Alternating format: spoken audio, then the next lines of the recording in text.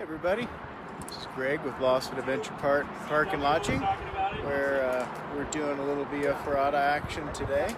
We've got our head guide youth taking a VIP out here. Lovely views of Clear Creek County from above. That's our Clear Creek right now. I have a raft trip going on that. Some zip lining going below. Beautiful day out here.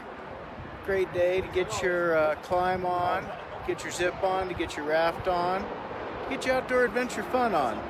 Don't be shy. Don't stay home. Get outside and have some fun. Thanks. Join us.